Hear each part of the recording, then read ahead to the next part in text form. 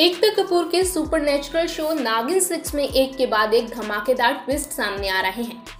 नागिन सिक्स के बीते एपिसोड में ऋषभ के हम शक्ल से पर्दा हट चुका है। वही प्रथा ने कियारा बनकर गुजराल हाउस में एंट्री भी कर ली है।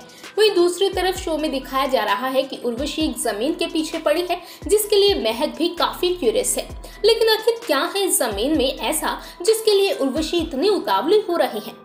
तो आपको बता दें कि ऐसी खबरें सामने आई है कि अपकमिंग वीकेंड एपिसोड में इस ज़मीन से जुड़ा ऐसा ट्विस्ट सामने आएगा, जिससे शो की ऑनगोइंग कहानी एकदम से यू टर्न लेगी। और इसी के साथ कई नए ट्विस्ट भी आएँगे। अब क्या है वो तीन बड़े ट्विस्ट जिससे कहानी और ज़्यादा रोमांचक होने वाली है, ये भी आपको बताते हैं। पहला ट्विस्ट मिस्टर सिंह की ज़मीन नहीं कोई आम छिपा है, सर्वश्रेष्ठ नागिन से जुड़ा बड़ा राज। वेल जैसा कि शो में दिखाया जा रहा है कि उर्वशी और महक मिस्टर सिंह की ज़मीन लेने के लिए काफ़ी जद्दोजहद में लगी हैं। लेकिन ऐसे कयास लगाए जा रहे हैं कि इसी ज़मीन के ट्विस्ट से ऐसा मोड़ आने वाला है, जिसे जान प्रथा के होश भी उड़ जाएँगे। जी हाँ कहा जा रहा है कि मिस्टर सिंह की ज़मीन को पाने के लिए उर्वशी इसलिए इतनी उतावली है क्योंकि इसका कनेक्शन सीधा नागलोक से जुड़ा है। कहा जा रहा है कि इसी ज़मीन के नीचे प्रथा की नानी, जो कि सर्वश्रेष्ठ नागिन रह चुकी है, उनका शव दफ है, जिसमें आज भी कुछ ऐसी दिव्य शक्तियाँ हैं, जिसे हासिल कर उर्वशी चिंगिस्तान के साथ मिलकर कुछ बड़ा प्लान करना चाहती। हालाँकि अब वाकई ज़मीन के पीछे यही राज है, या फिर कुछ और ही ट्विस्ट छिपा है, ये आप इस वीकेंड एपिसोड में देखेंगे।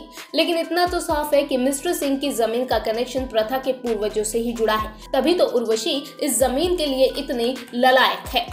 दूसरा ट्विस्ट प्रथा के सामने शक्ति का खुलासा। वेल शो में ऋषभ के भाई शक्ति की एंट्री को तो मेकर्स ने पहले ही करवा दिया है, लेकिन अब तक प्रथा के सामने शक्ति नहीं आया। वो अब भी उसी गुजराल हाउस के एक अंधेर कमरे में कैद है। आने वाले एपिसोड में प्रथा उस कमरे को खोलने की कोशिश करती नज़र आएगी, हालाँकि प्रथा को एन मौके पर महक आकर रोक लेगी। लेकिन प्रथा को शक हो जाएगा कि हो ना हो इस बड़े से ताले लगे कमरे के पीछे कुछ तो ज़रूर है, जिसे दुनिया से छिपा कर रखा जा रहा है। ऐसे में प्रथा उस कमरे का राज, जो कि शक्ति है, उसे जानने की कोशिश करने वाली है। हालाँकि अब देखना यह है कि क्या वाकई शक्ति एक शैतान ही है, या फिर उसके इस खौफनाक चेहरे के पीछे एक नेक इंसान छिपा है, जो प्रथा से मिलने के बाद सामने आएगा। और तीसरा बड़ा ट्विस्ट प्रथा महक का आमना सामना।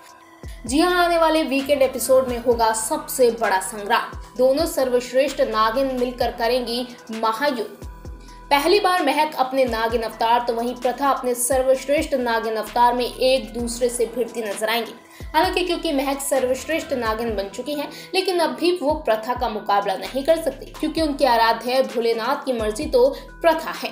ऐसे में प्रथा की शक्तियाँ बहन महक पर भारी पड़ने वाले हैं। अब इन तीन ट्विस्ट के साथ शो की कहानी कैसे और नया मोड़ लेगी और कौन कौन से और नए ट्विस्ट आते हैं, ये देखने वाली बात रहेगी।